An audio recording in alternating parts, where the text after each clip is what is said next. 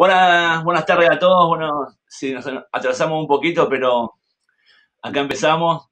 Eh, traje un invitado para que me acompañe esta, en esta velada. Arre que no es velada, es un tipo, me hizo, me hizo mediodía. Pero hola, Johnny, ¿cómo estás? Buenas tardes, hola, ¿cómo están? ¿Todo bien? No saben el calor que hace debajo de esa máscara. ¿Qué tal? Bueno, muchas gracias por esta invitación. Bueno, eh, acá, eh, ¿cómo, ¿cómo andan todos? Che, yo quería hablar un poquito sobre React y para eso llevar un poquito de conocimiento a la gente. Y esto lo venimos haciendo hace un montón de años. Lo empecé a, a desarrollar con. Yo me sumé a GDG Río, a GDG Buenos Aires hace mucho tiempo. Eh, este empezó hace mucho tiempo. Empezamos con Johnny hace un montón de años con GDG, eh, básicamente para dar charlitas a la gente que está iniciando, y dimos charlas en las facultades, en los colegios. Y bueno, después Johnny se fue porque se quiso ir, de viaje por ahí y acá lo pueden ver, una foto de cuando Johnny andaba de viaje por el mundo. ¿Te acordás, Johnny? Sí, me acuerdo, de cuando se podía viajar. o se podía viajar. Ahora ya que estamos todos recontra confinados así en, en nuestra casa, bueno, ahí tienen ahí la, eh, la dirección de Instagram de, de, Jonathan y la mía. Si nos quieren seguir alguno, la verdad que tampoco es tan importante, pero bueno, siempre está bien decirlo. Y Hoy quería contarles un poquito sobre React. React hace un tiempo sacó. no sé, Johnny, si estás escuchando. Yo escucho muy, muy mal, escucho todo muy cortado, pero bueno, yo le doy para adelante. O sea, supongo que se graba y que después se escucha bien. Eh, sí, así que. Bien, bueno, perfecto, bárbaro. bueno, para eso, para hacer un poquito sobre React, que Johnny, ¿querés contar un poquito qué es, qué es React? A ver, vamos a preguntarle a Google qué es React. Ok, Google, ¿qué es React.js? Puede ser que no lo entienda, porque a veces nunca entiende lo que uno le pregunta. Según Wikipedia, React es una biblioteca JavaScript de código abierto diseñada para crear interfaces de usuario con el objetivo de facilitar el desarrollo de aplicaciones en una sola página. Es mantenido por Facebook y la comunidad de software libre. Han participado en el proyecto más de mil desarrolladores diferentes. Buenísimo, espectacular. Entonces ahí ya tenemos... Bastante bien. Sí, la verdad que muy bien Wikipedia, ¿eh? Está bueno, funciona bien Google también. Bien. Escúchame, ¿y cuánto hace que, que salió React? ¿Te acordás más o menos? Mm, no, no me acuerdo cuántos años hace, pero ya hace varios años. La verdad que hoy en día no hay ninguna novedad el mundo de React.js, pero hay gente que todavía está como un poco confundida eh, y no saben si apostarle al proyecto. Salieron un montón de otras propuestas también que están compitiendo con React, eh, como lo es Vue.js, como lo es Svelte, no sé, y también está Angular que venía de antes, también un gran proyecto apoyado por Google, pero empezaron a pasar cosas con React, eh, empezó cada vez a, resonar más, cada vez la gente empezó a, querer sumarse a esta gran comunidad y, no fue por otra cosa más que porque React eh, se banca mucho a su comunidad y eh, no los dejó a gamba nunca. ¿A qué voy con esto? Es que React cuando fue sacando versiones no dejó, eh, siempre tuvo retro, retrocompatibilidad y esto hace que si vos escribiste algo en React hace 50.000 años, lo corres ahora y funciona. Entonces, eso significa una estabilidad importante para desarrollar proyectos, eso significa para las empresas no tener que reinvertir dinero en, en hacer refactos todo el tiempo del código. Entonces, eso para mí hizo que React tenga una gran fuerza y se posicione donde está hoy, que se, em, según eh, las encuestas del estado de JavaScript, es el framework de JavaScript más utilizado y el que más la gente quiere aprender y seguir utilizando. Eh, con esa información es que nosotros estamos acá ahora. mucho más que Angular.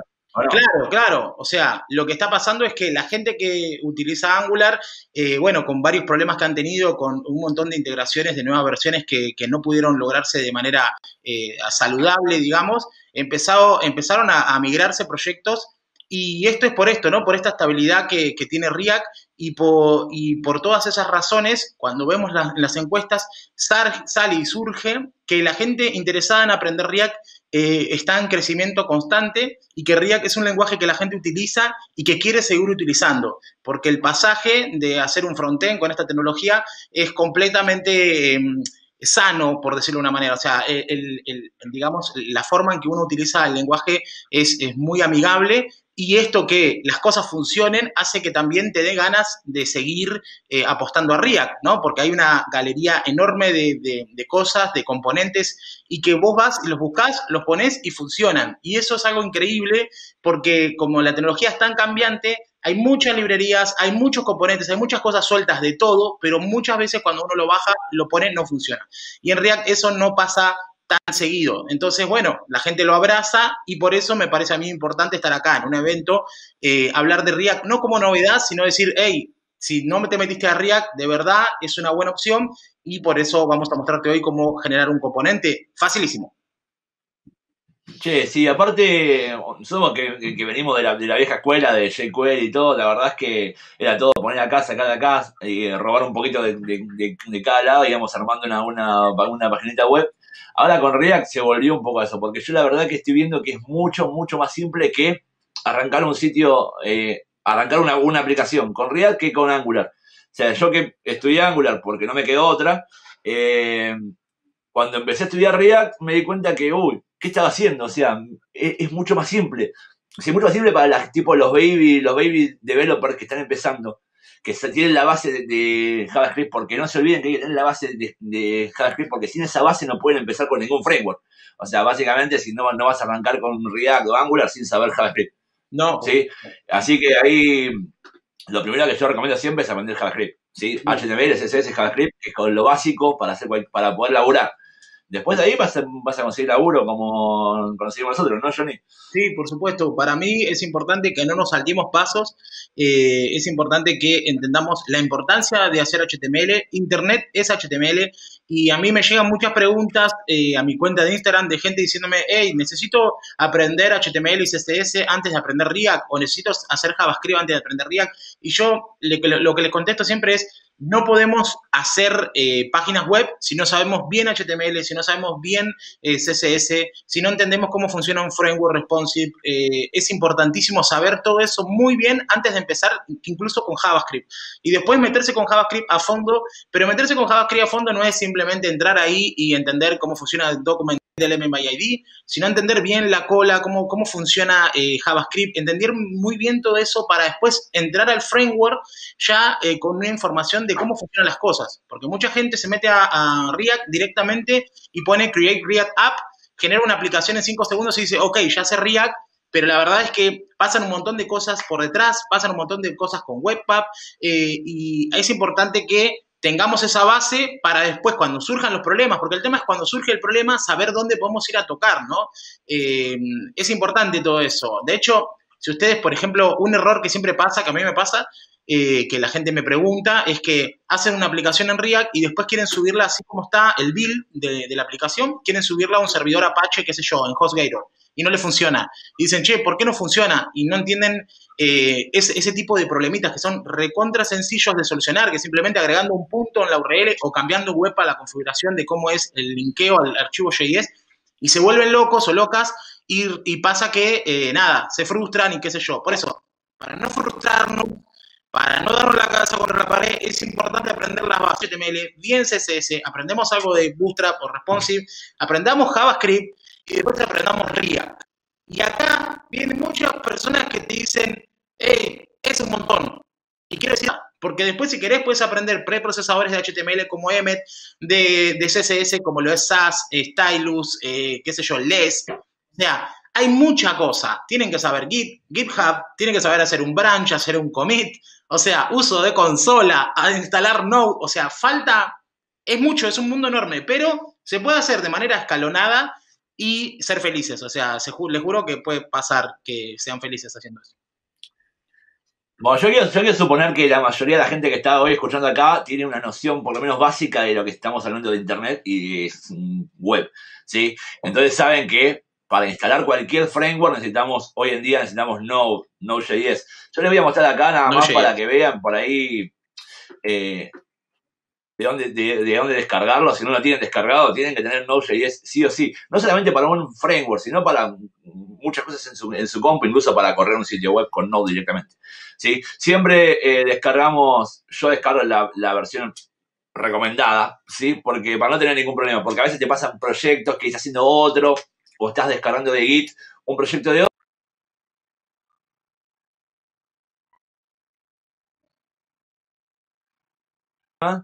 me quería hacer como el, moderno y ahora me di cuenta que, con el tiempo me di cuenta que mejor descargar la, recomendada y sirve siempre para cualquier proyecto.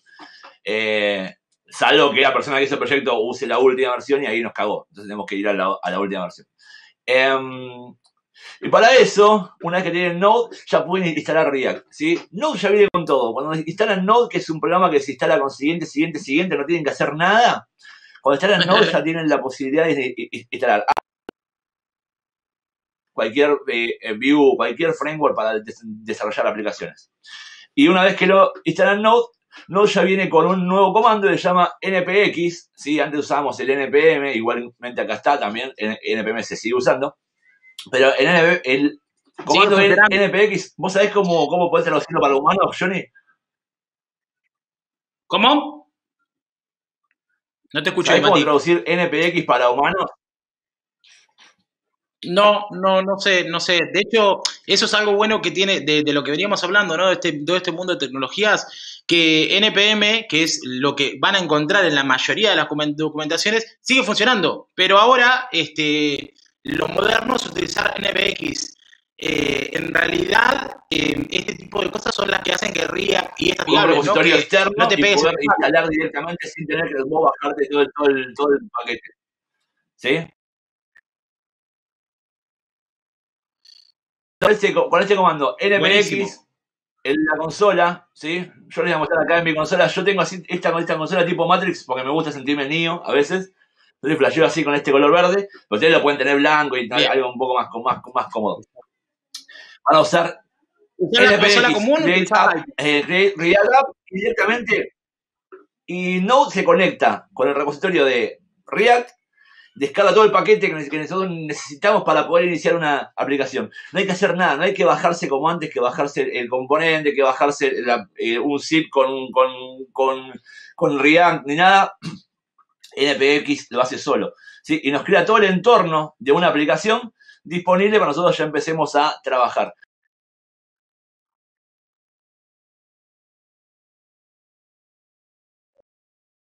No, se me ocurrió nada, pero ustedes le pueden poner páginas de autos, cero kilómetros, lo que es, lo que es, lo que, lo que sea. Eh, se instala bastante rápido, ¿sí? Según su internet, porque tiene que descargar todos los paquetes de internet, o sea, descarga Webpack, de, descarga React, descarga todo de internet, y según su internet se va a descargar bastante rápido. Una vez que se instale, eh, que se descargue, lo va a instalar en la, en ¿no? Estaba parado acá dentro de eh, Desktop React, ¿sí? Si no saben nada de, consola, bueno, es un buen momento para que un poco. ¿sí? Con, yo con este comando CD lo que hice fue posicionarme dentro de la carpeta React y de React eh, para poder correr la aplicación. Una vez que lo instalé, fíjense que hace todo todo, todas estas maniobras que empieza a hacer por acá. ¿sí? Instala todo, descarga todo, se instala todo, bla, bla, bla, bla, tarda un poquito, pero cuando se instala ya te dice Happy Hacking y te da la opción de empezar a trabajar. Yo acá lo dejé así y me vine a otro tab para poder empezar a correr mi servidor. El servidor se corre muy simple, ¿sí? Con Jan Start, si tiene instalado Jar y si no, bueno, igual creo que lo instala solo también. Y si no, con npm start se, instala, se corre el servidor y ya les queda corriendo algo así. También los que usen BC Code tienen un server en BC Code para, para descargar, eso es de cada uno. Yo la verdad que prefiero usar este porque es mucho más práctico. ¿sí? Pero bueno, cada uno sabe cómo correr su servidor, también hay aplicaciones, hay eh, programas para, para correr servidores, eso ya es de cada uno. Yo, es mucho más práctico correr con npm start, el, el server local de, de, React, y ya directamente te muestra la página web que estás haciendo. También sí con npm eh, RAM eh, start también funciona.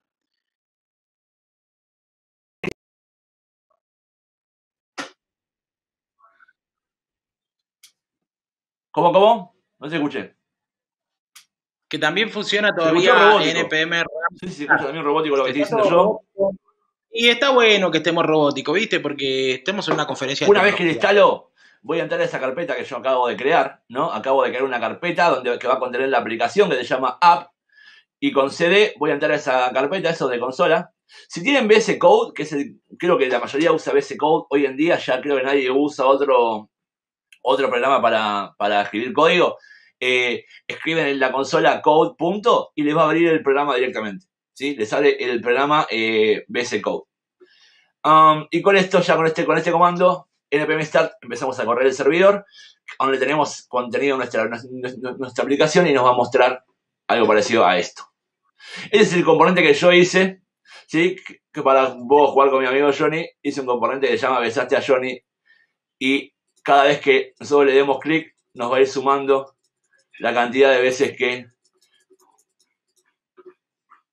tocamos a Johnny. ¿sí? Y fíjense que también se actualiza la URL. Para eso también estoy usando el API del browser, ¿sí? que ahora vamos a ver cómo, cómo se usa. Yo ya veo todo frisado, no sé si se escucha. No sé si se escucha Johnny, pero yo no, no, lo escucho más. Eh, ¿Podemos, eh, ¿podemos no sé si hay que refrescar la No sé la verdad cómo es. Eh, pero no, no, te escucho ahora.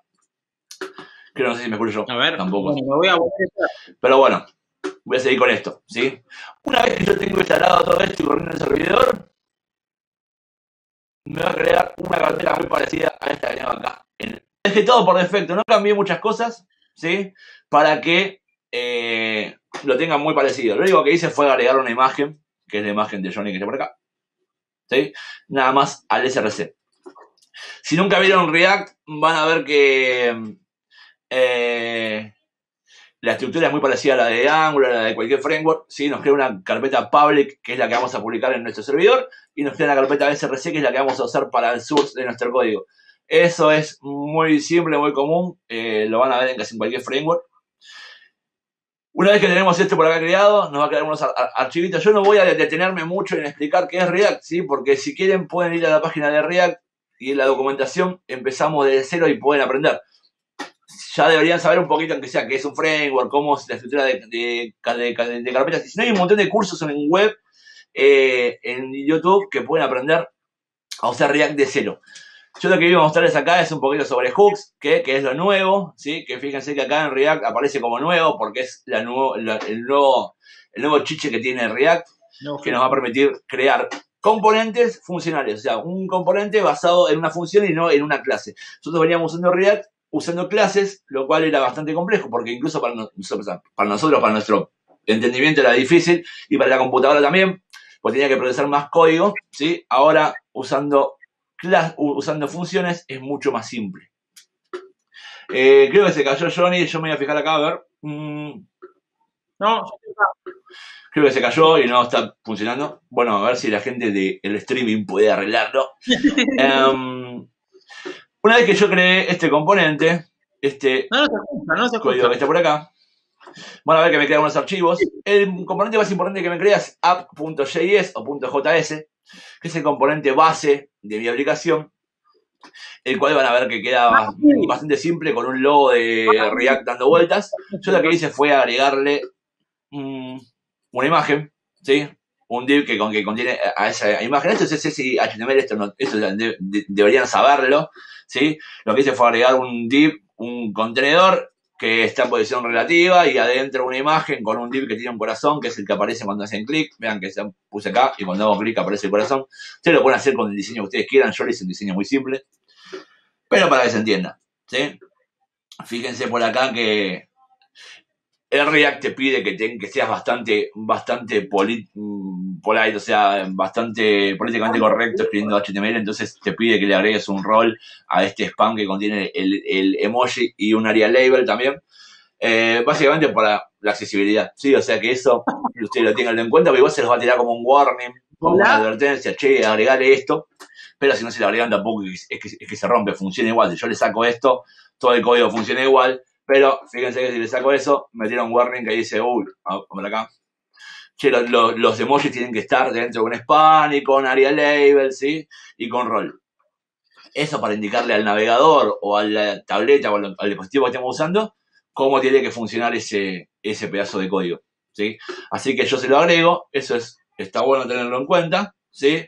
Para ser accesibles para cualquier persona que esté viendo nuestra, nuestra aplicación desde donde la esté viendo.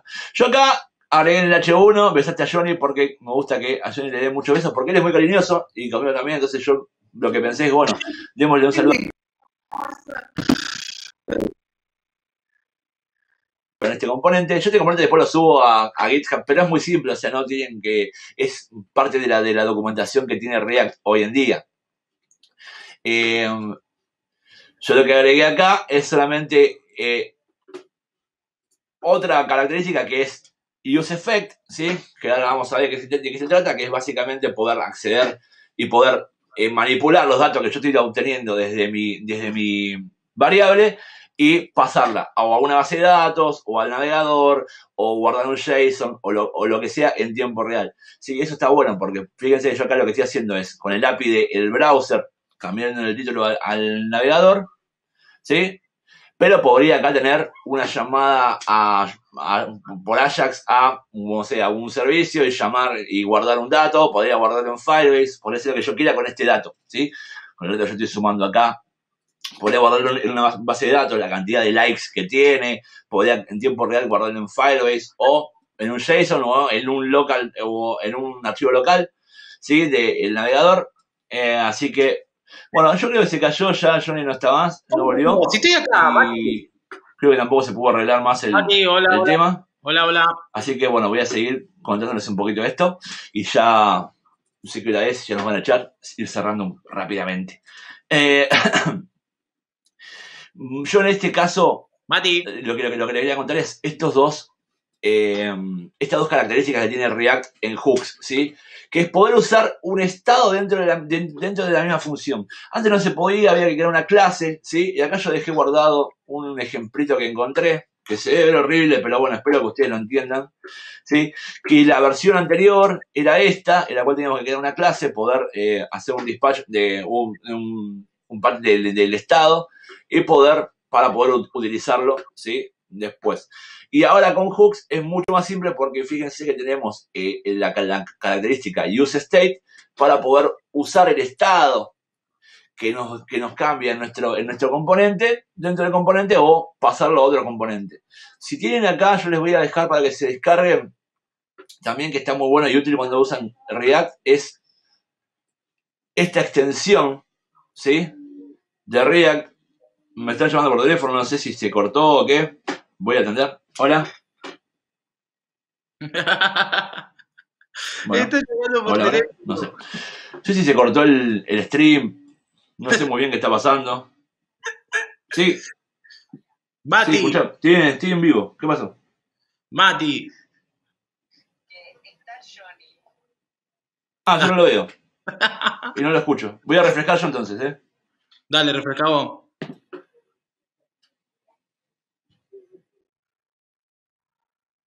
Se fue Mati, chicos. Eh, bueno, creo que sí me están escuchando. Eh, ¿Qué estaba pasando? Eh, si, me, si me seguí escuchando, si no me escuché más. Hola, Mati, ¿estás? ¿eh? ¿Me pero escuchás? creo que se escuchó lo que dije algo o se rompió todo. Obvio, se escuchó todo, pero bueno, paraba y nosotros te, te hablábamos, decíamos, Mati, estamos acá por el amor de Jesucristo. Bueno, yo te digo que a mí se me frizó todo, entonces es como esa página de streaming que, que no veía nada de lo que estaba pasando y me, me quedé ahí y dije, bueno, se cayeron todos, sigo hablando, porque se graba y se graba. Igual. No, igual sí se grabó todo. Habló un poquito, que ya me cansé. Estamos en vivo en este momento, de hecho. O sea, la gente está escuchando esto. Bueno, eh, varias cosas me gustaría aclarar. Primero, Mati, nos gustaría que pongas el código como que lo agrande, porque la gente está hablando por el chat diciendo que no vio nada del código y les gustaría verlo. Eh, y después, por otro lado, hablar un poco de esto para el tema de, de React Hooks, ¿no? Que estaba comentando Mati. Eh, React anteriormente tenía el manejo de componentes, el life cycle de un componente estaba dado por unas, unas funciones que React nos daba. Entonces vos tenías una función como por ejemplo el component did mount, component unmount, o sea, cuando el componente se carga, cuando el componente se descarga, cuando el componente se actualiza.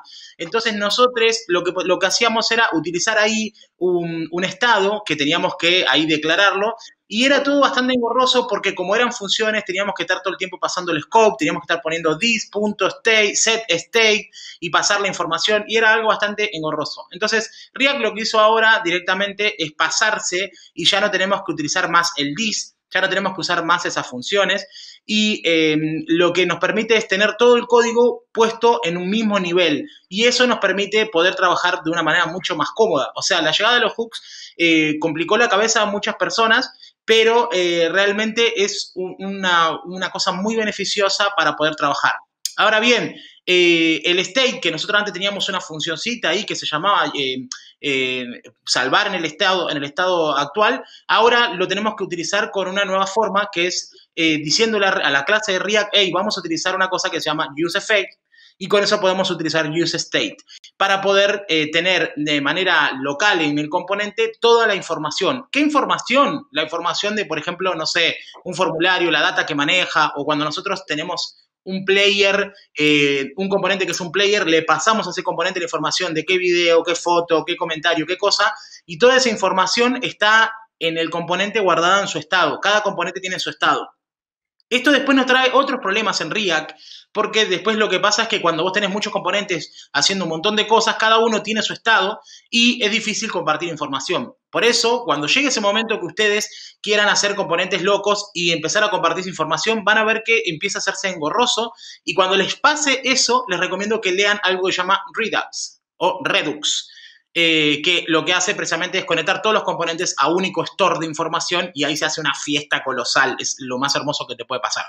Pero bueno, eh, la cosa es que Hooks es lo nuevo, como dijo Mati, es algo interesante, un paradigma interesante. La idea de la charla de hoy, eh, más que mostrar código, era un poco, es un poco mostrarles que en React Mati ahora en 20 minutos está construyendo un componente y una aplicación que ya se puede hacer clic y puede funcionar. O sea, es muy rápido para construir, es muy robusto. Eh, y bueno, y como decía Mati, este componente él lo va a subir y además ustedes pueden eh, visitar y ver la documentación donde está toda esta información y de cómo, cómo, se, cómo se configura y cómo se construye. Pero la idea es que se prenda una lamparita, que se prenda un, hay una, unas ganas de aprender React o unas ganas de decir, che, está bueno esto que están diciendo estos gordos, me interesaría profundizar eh, en todo esto. Eh, y bueno, y la información está ahí. Puedes ir a YouTube, puedes ir a la documentación oficial, eh, hay mucha data. Pero bueno, Mati, con, cerranos con tu componente que ya nos estamos pasando, nos dijeron 30 minutos, vamos 35, nos van a poner un boleo. Bueno, básicamente acá, no sé si lo habrás entendido, Johnny, yo creo que yo no, te lo quise mostrar antes porque era una sorpresa que, que me gustaba que te besen a vos, entonces le dije, bueno, voy a hacer un componente para que lo besen a Johnny. Y Hice este componente lo hice básicamente en cinco minutos antes de empezar esta, esta charla. O sea, no lo hice antes, porque la verdad que no tuve tiempo. ¿no? Entonces lo hice hoy, cuando empecé, cuando, cuando me desperté, me puse a hacerlo y dije, bueno, voy a hacer un componente robando un poco de acá. Porque está todo en esa documentación. Eso es lo que yo les, quería decir. Ustedes no tienen que, no, es que, uy, ahora a, dónde aprendo, a dónde voy. Primero que nada, vienen acá a la página de, React y ya tienen todo para, empezar. ¿sí? No es que es, difícil, lo tienen que buscar, tienen que hablar con alguien que sepa. Está acá, está, está todo. Y está todo en español. Por suerte, la verdad que que está en español su documentación. Eh, está bastante bien.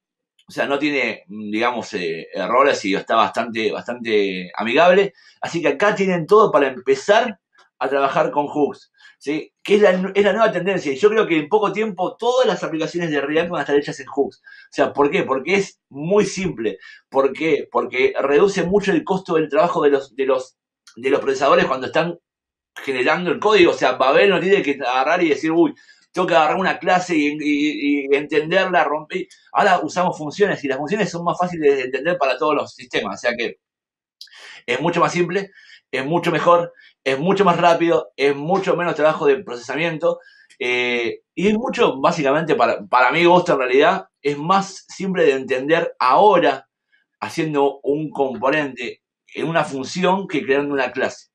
¿Sí? Todo este tipo de componente viene también con la nueva versión de React. No, no es que eh, también lo pueden hacer a la, a, la, a la, vieja usanza, que es crear una, una, una, una clase, pero la onda sería que ya no usen más clases para crear componentes, sino que hagan todos componentes basados en funciones.